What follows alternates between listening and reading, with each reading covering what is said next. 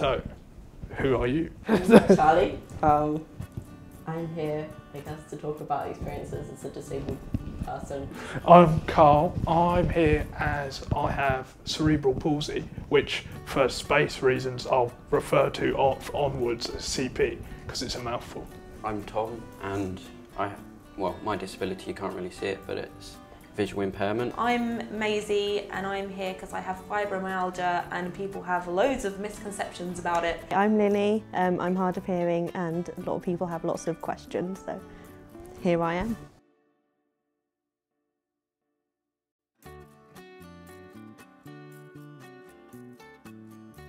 Oh, it's hard. Um, There's a lot, isn't there?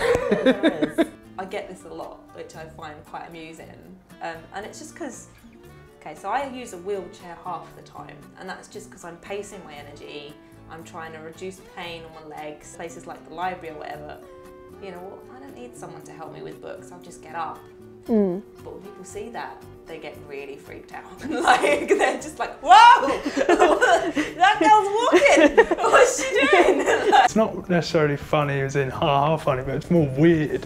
Is that what would often happen? It was nearly always old people who I'd be in a blue badge spot, and they'd sort of wait by my by my car to point out like you're too young to have a disability. People will hang around and then they realise that someone's getting a wheelchair out of the car. Yeah, like, and then oh, they sort of back off they a bit. on.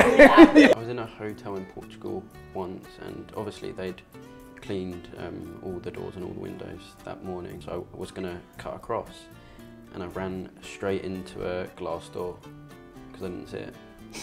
the awkwardness around it as well makes me laugh. Oh yeah, and it's very funny to cut into that awkwardness and Yeah. just play on it. I'll often call myself a cripple just to just to disengage Yeah. that tension, and it gets laughs. So you know. I, I make jokes about running upstairs.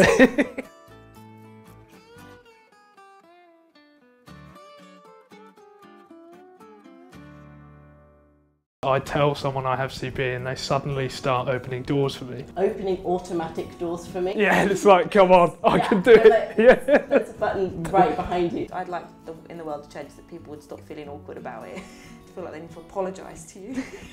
it's not your fault. It's life. I've been managing fine with my hearing aids, but then it's really funny when people go, where are your cochlear implants? Because they're implanted in your brain. It's like I can't just misplace a cochlear implant. So people are very weird about it all.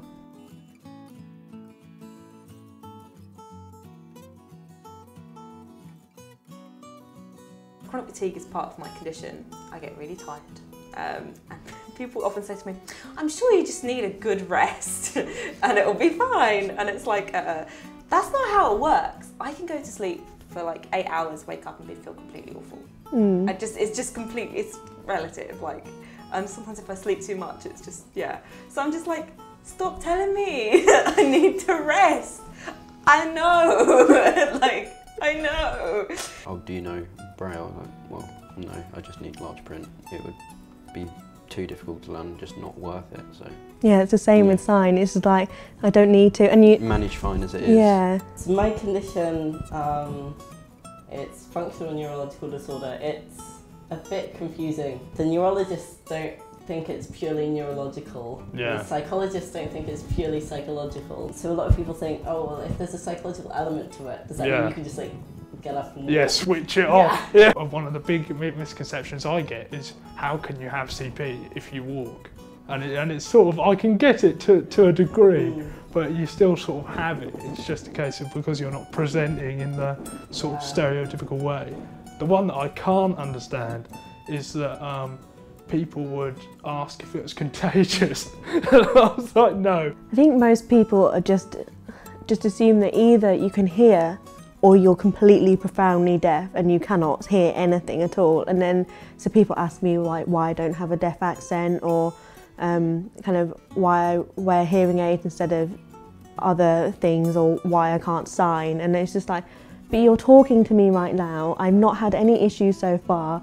It's like you can see for yourself why I don't need any other things. So it's just like, and why do I need to sign in a world full of hearing people? Like if I was part of the deaf community and I knew loads of deaf people, that would make more sense. I think I know about three deaf people in my life, and they're all the same as me. They can't sign. It's hard to tell people what fibro is Mm. because that not many people know about it. So when you tell them it's kind of a mobility issue, they kind of look at you and they go, "You're standing," and it's like, "Well, yeah, I've still got mobility issues."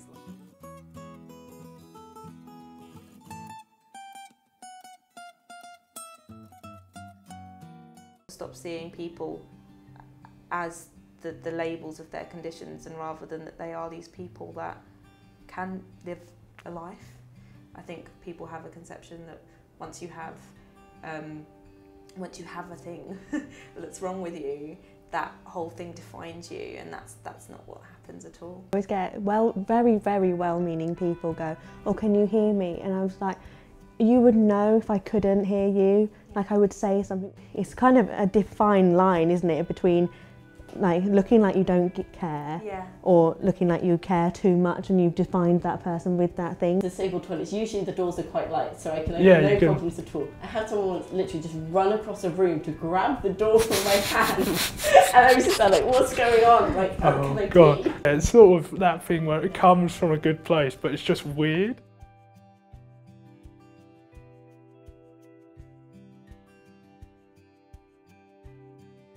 I think there is, yeah. I've been really happy with the support I've given, and I, and I guess I had high expectations because I came from a school that did really support me. Ah, see, I have a completely different experience. Uh, so I had a meeting with the person who's in charge of my uh, ILP, and um, so he showed me a list of programs that were for the visually impaired, and so it was mostly spe- um, text to speech. Yeah, And I was just like, I don't know how you expect this to help me, but it's not going to help me. And um, yeah, and my teacher of the deaf at school was very rubbish. So she kept telling people kind of, I wouldn't say lies, but they're like, didn't apply to me. And that got put into my ILP, and I found that um, nobody ever asked me what I wanted. Some of the systems are broken again. So I think everyone means well, Mm. But I just think no one's talking to each other. I think there are some lecturers that are amazing with ILPs, and there are some that suck. However, I find my student support officer in my school was amazing.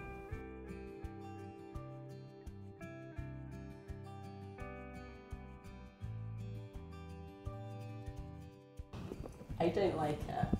Yeah. personally. yeah. Um, because for me, it always tends to come from the people who don't like to talk about disability and they want to like cushion it away as something Yeah.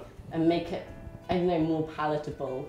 For me, it's, it's almost impossible to change it because it's Mm. so ubiquitous now. If you go back in history, um, someone who, um, uh, say, might, uh, might have been referred to as a spastic, say in the Mm. 40s or 50s, they always referred to themselves as that. That, that, Yeah. that was their self identification. Then, even when, you know, better sort of terms came in, they still used that Yeah. term. I think that it doesn't matter what label you put on it, people are still going to feel awkward about it with a lack of education. You can't just change the name of something and expect people to understand the ins and outs of it.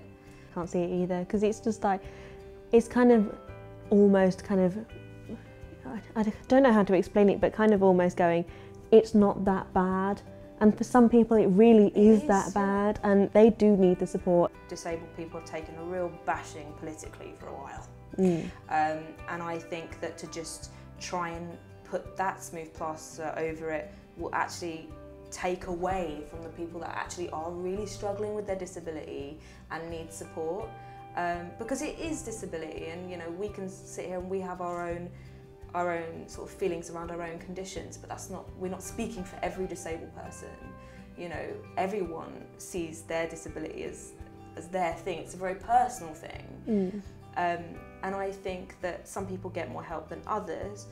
And I just think with cuts coming in, with people having to fund their own stuff, taking away from some of that negativity around it is actually going to really disempower the movement to improve the lives of those people. yeah Changing a name doesn't help improve life.